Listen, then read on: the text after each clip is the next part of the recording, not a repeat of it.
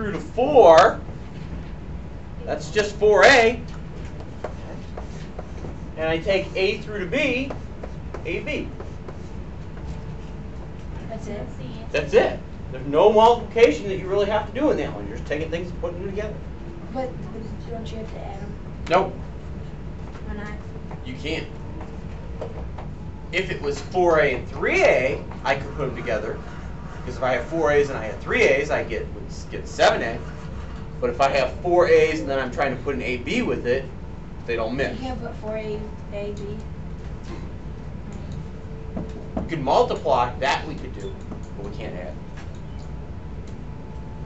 All right, 6. 3, and then in the parentheses, 2 plus j.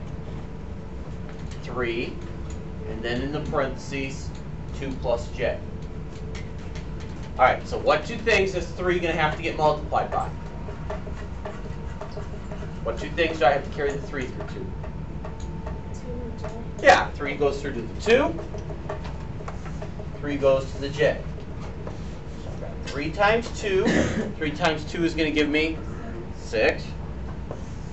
And 3 through to the j, just 3j. No, I'm starting to check.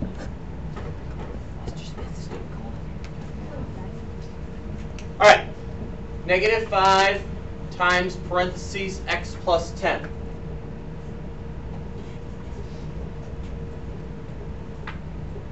Negative 5, and then in parentheses x plus 10. So what two things do I have to carry negative 5 through to? Right, I carry it through to x and 10, exactly. So negative 5 to the x, negative 5x. Negative 5 times 10? Negative 50.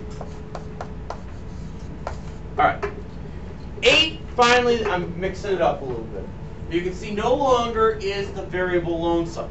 In all the problems we've had so far, it's just been a plain old variable. Right? There hasn't been a number in front of the variable. Now I'm putting a number in front of the variable. So I've got 3, and then in parentheses, 2x plus 3y. 3, and then in parentheses, 2x plus 3y. So, first thing I got to do is take 3 through to 2x.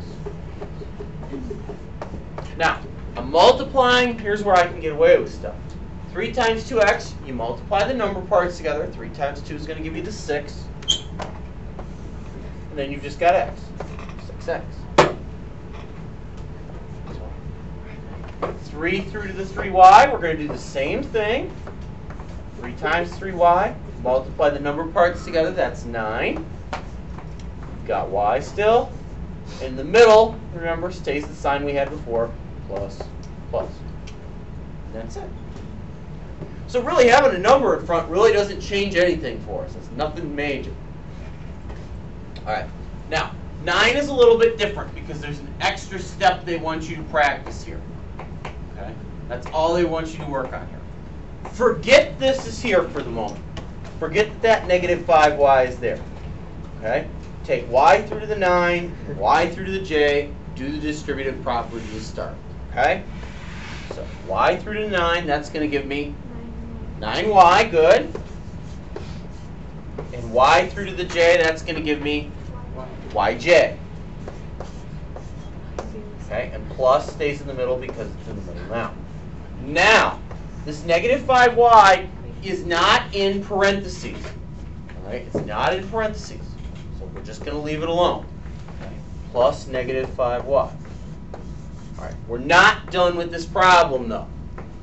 We are not done with the problem. All right. 9y and negative 5y are like terms. So I can, maybe if you did some work, you'd warm up. But you're too busy trying to come up with other things to do other than work, apparently. All right, 9y and negative 5y are like terms because they both have y in them. So I can put those together. If I have 9y's and I take away 5y's, how many y's do I have left? Four. 4y. So these two together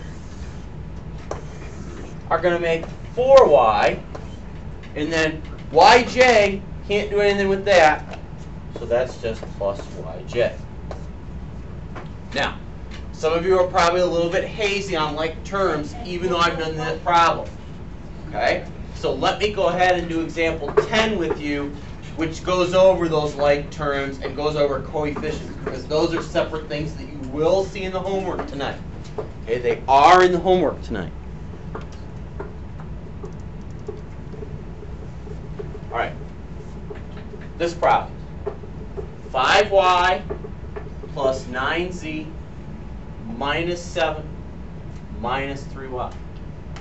5y plus 9z minus 7 minus 3y. Again, we've got subtractions here. I want to take a moment to change those into adding the opposite, which is where I'll start.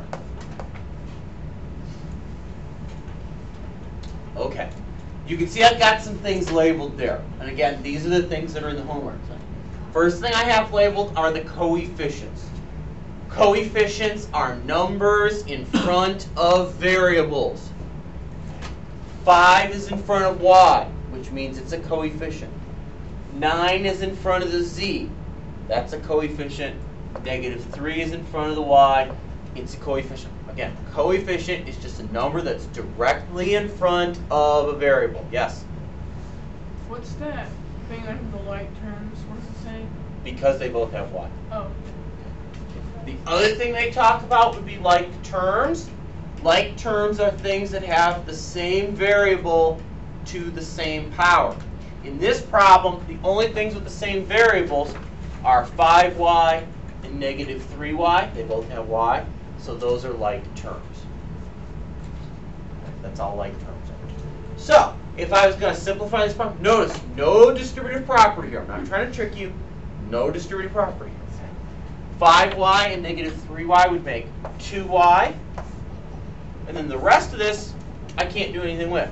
So it's just going to be plus 9z plus negative 7.